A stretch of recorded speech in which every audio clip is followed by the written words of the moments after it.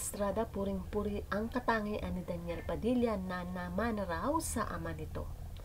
Hello mga ka-SCAS, kahit hindi naging successful ang pagmamahalan ni Carla Estrada at ang dating asawa nito na si Romel Padilla, ang ama ng kanyang anak na si Daniel Padilla ay puring-puri ito ni Ma'am si Carla. Sa episode ng Magandang Buhay noong lunes, January 11 kung saan guest ang mag-amang Monching Gutierrez at ang anak nito na si Diego Gutierrez na ibahagi nga ni Carla Estrada ang mga katangian na nakuha ni Daniel Padilla sa ama nito na si Romel Padilla. Ang pagiging maunawain, maalalahanin ang ilan sa mga ugaling nakuha daw ni Daniel sa kanyang ama. Kitang-kita naman natin kung paano mahalin ni Daniel Padilla ang kanyang mami Carla, pati na ang kanyang lola at mga kapatid.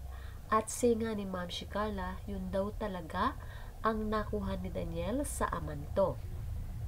Sa nasabing programa, binati din ni Carla Estrada ang nanay ni Romel Padilla na si Miss Eva Carino. Say niya, nakita naman natin ang pagmamahal ni na Robin at Romel sa ina nila. Actually, si Daniel ganun din. Ba't lahat naman ng mga anak ko? Aminado rin si Ma'am si Carla na nakuha ni Daniel ang pagiging mapagbigay nito sa kanyang ama na si Romel. At yun daw pagiging gentleman, oo yun talaga. At pagiging generous din. Dahil yan si Omeng, sa kanya rin ako nagumpisa at nakita ko rin naman na mapagbigay talaga siyang tao. Sa mahabang panahon, si Ma'am si Carla ang tumayong ina at ama nga kay Daniel. Kung matatandaan naman, sa isang interview ni Boy Abunda, si Daniel Padilla, nagsalita ito na kahit hindi nito nakikita ang kanyang ama, ay hindi nawala ang kanyang komunikasyon. Physically, wala siya pero nandun siya. Tatawagan niya ako, kakamustahin niya ako and gets ko na kasi na dati pa lang na-explain na ni mama sa akin kung ano ang sitwasyon. At alam ko kung bakit siya wala at hindi siya naging big deal sa akin. Kaya nga, ang hirap, lalo na kapag artista ka, ang hirap ng mga eksenang may galit sa airpad. Ako walang galit sa airpad ko. Yan ang sinabi ni, ni Daniel nang makausap siya ni Boy Abunda. At sa magandang buhay naman, nasabi rin ni Ma'am si na maganda ang relasyon niya sa ama ni Daniel at sa pamilya nito.